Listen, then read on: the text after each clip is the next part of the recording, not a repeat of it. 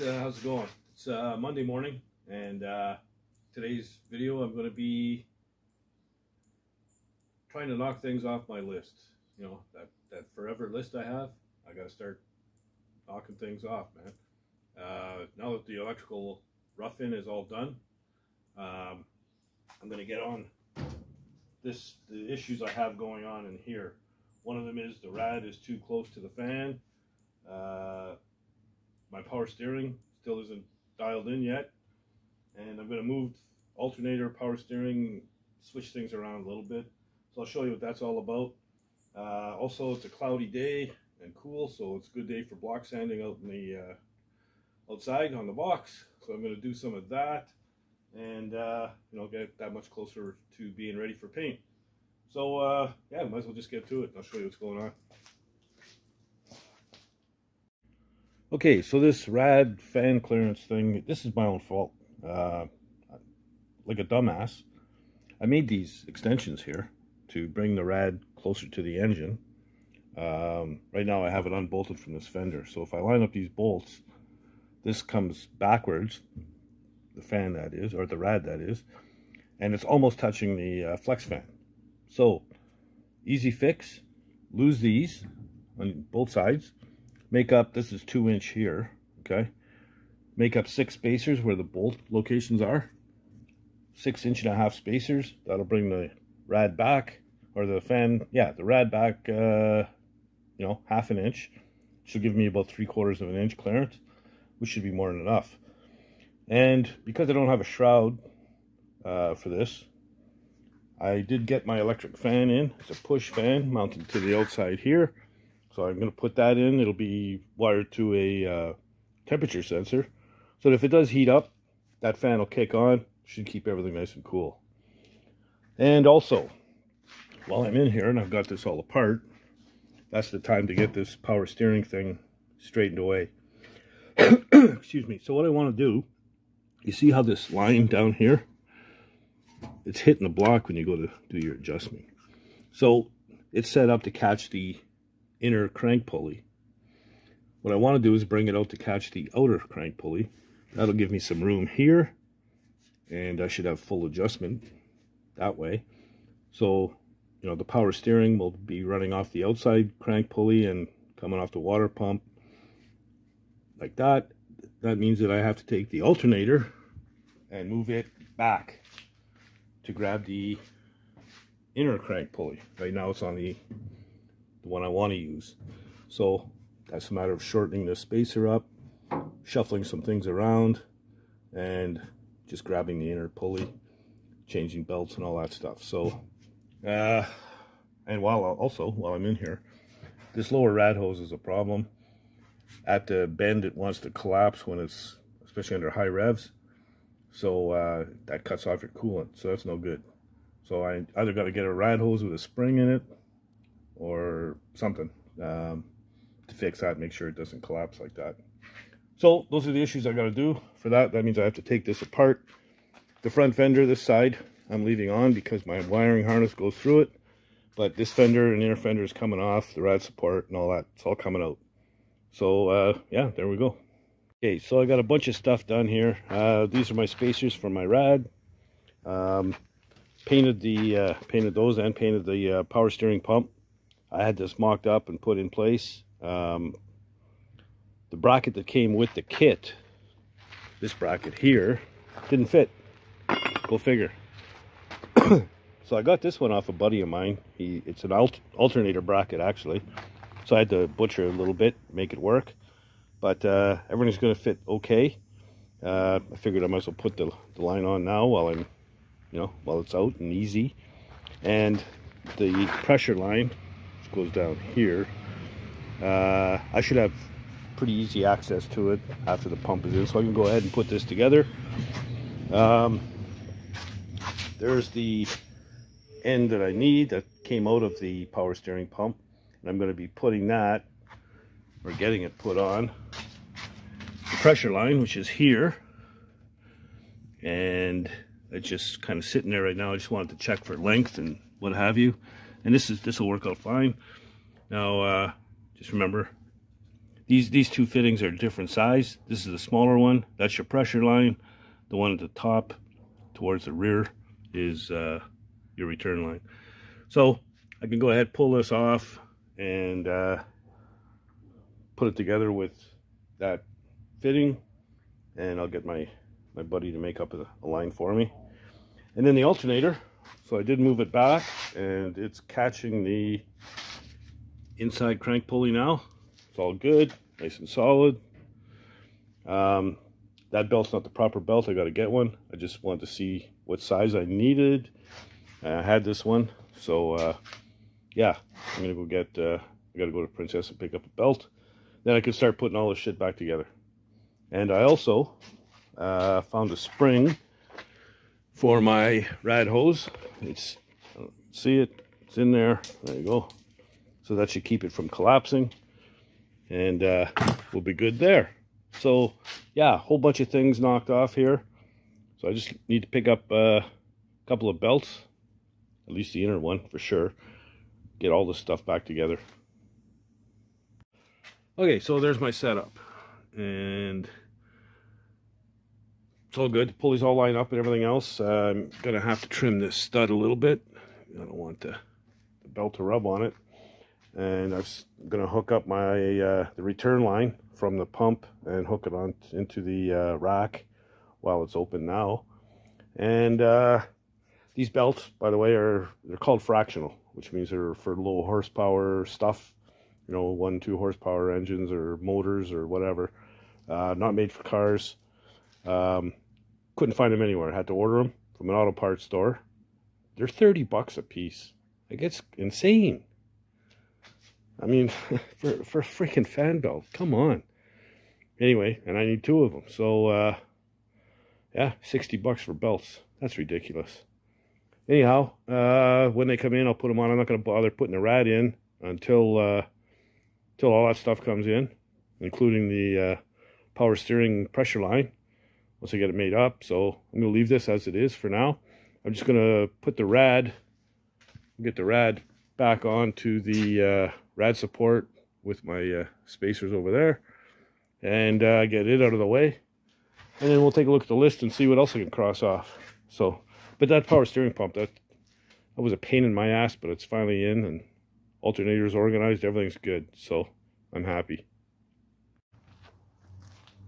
Okay, so I want to get uh, my interior back together.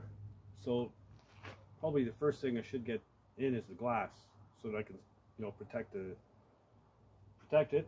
So uh, the first pieces of glass that are going to go in will be the vent windows uh, because they also double as the track for the for the door glass. So I'm going to move the camera down here and show you where I'm at and uh, what we're doing. Okay, so the first thing you got to do, there we go. So you got to get the uh, the pin and the spring, get the nut off. So I've soaked this one with uh, penetrating fluid, and I've already taken out this one. There's the spring, and I got these funny shaped washers, funny shape of a hole, right? To fit the uh, the shaft here. So to remove the glass, there's a little rivet here on the uh, pivot point, and I'm going to grind that bottom of the rivet off and try and poke that rivet out of there. I put the cardboard there just so I don't uh, pit the glass all up.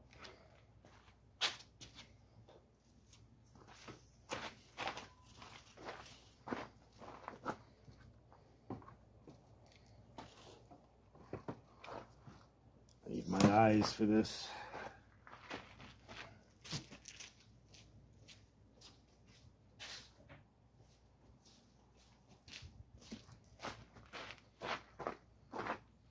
There we go. Now I can see.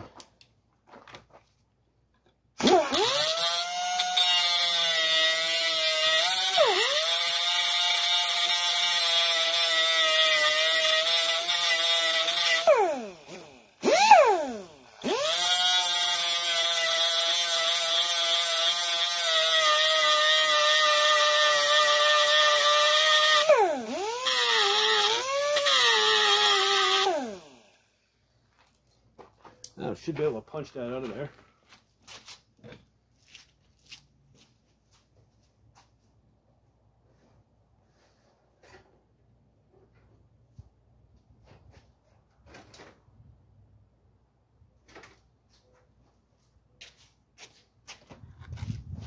I'll try the spring-loaded one first, see if that works.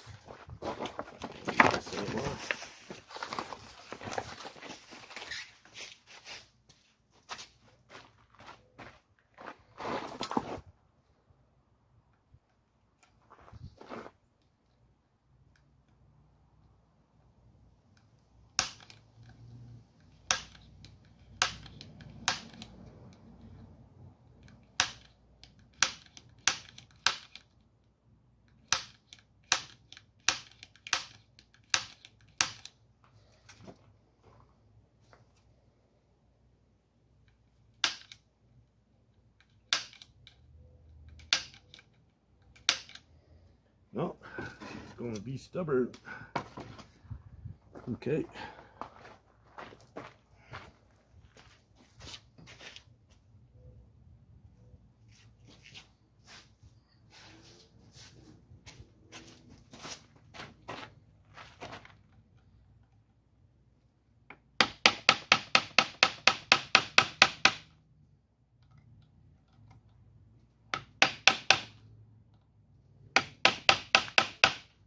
Ever being stubborn.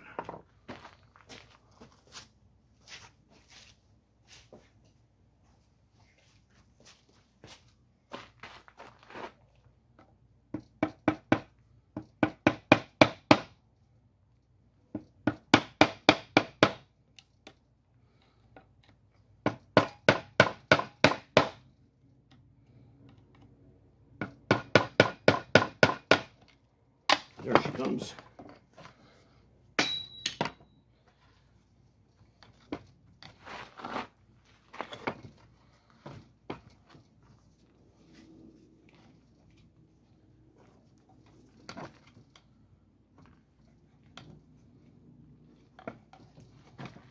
Now, nut back on, tap it out.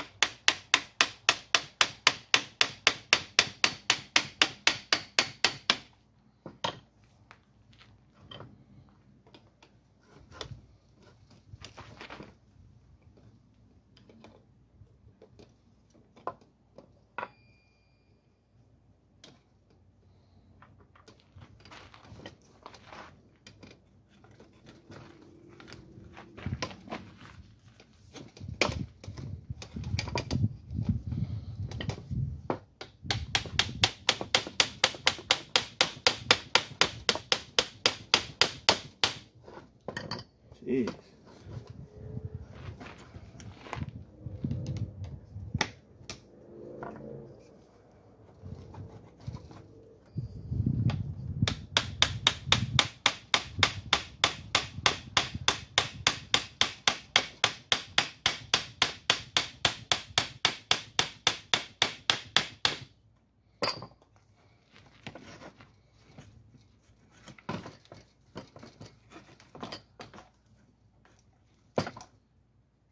go. Two more washers.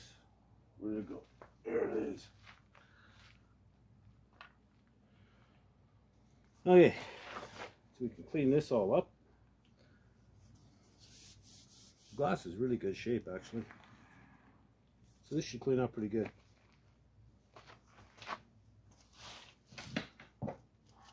Now we're going to wrestle with this rubber and try and get this out of here. It's gonna come out in pieces because it's super dried up and crusty.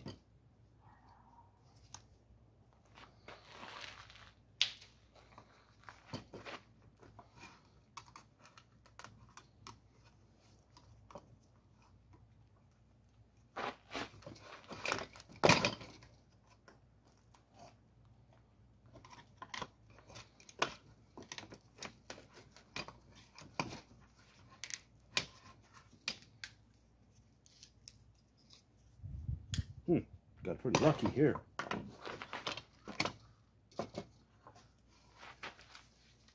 Oh yeah, sweet.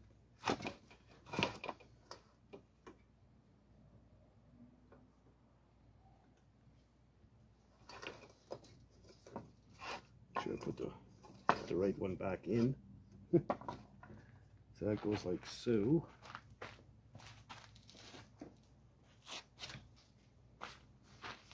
Then I gotta get this out.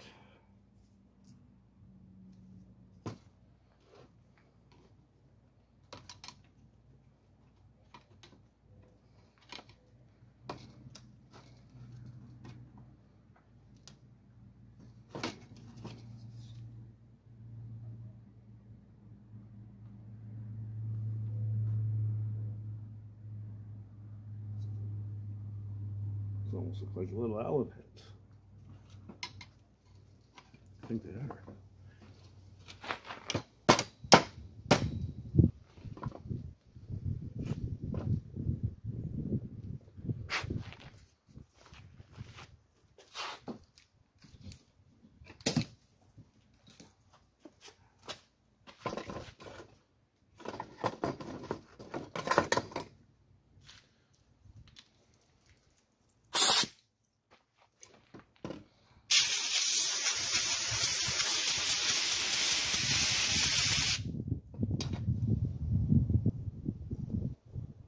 Ah, those are little rivets.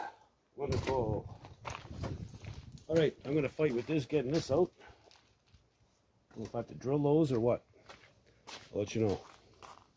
Okay, so uh, these were, see the holes there.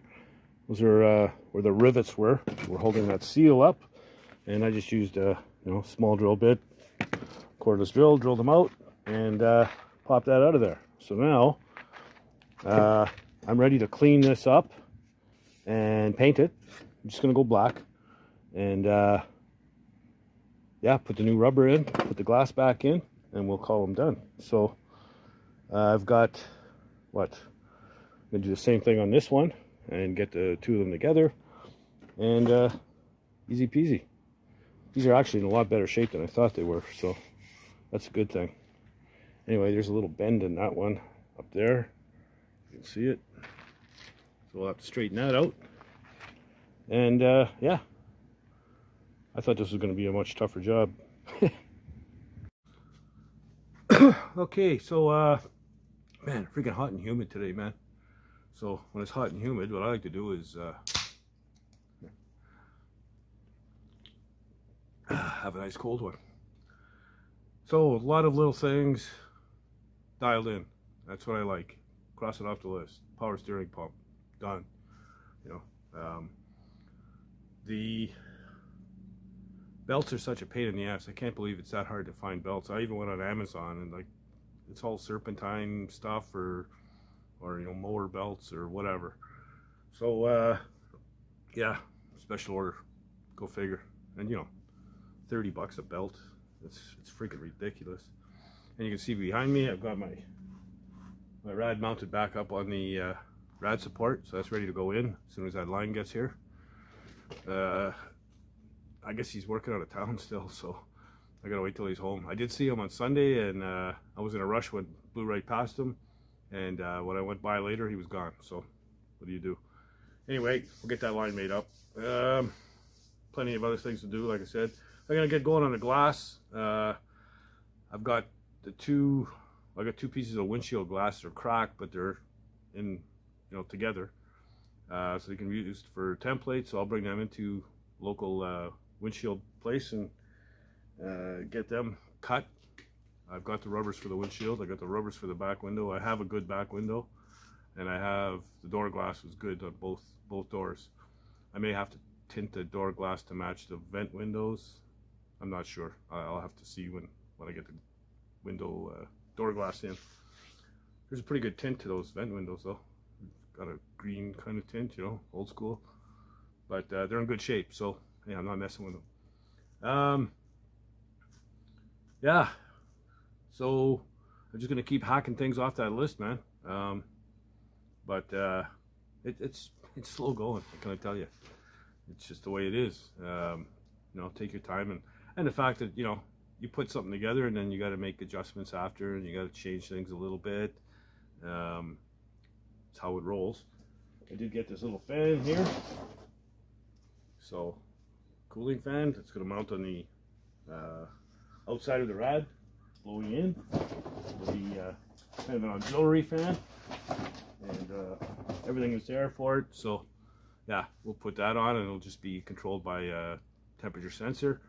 So when it gets to a certain temperature, it'll just kick on. So it makes sure it doesn't get hot. Um, yeah, new subscribers, thank you very much. And uh, if you haven't already, please subscribe. You know, 60, over 60% of my viewers are non-subscribers. So, man, if even just a few of them would subscribe, make a huge difference to me. So, think about it, please, and uh, you know, hit the button, man. And uh, don't be shy. Don't be afraid to leave comments down below. And uh, you know, if you're not doing anything else, get in the garage and build something, man. Later, guys.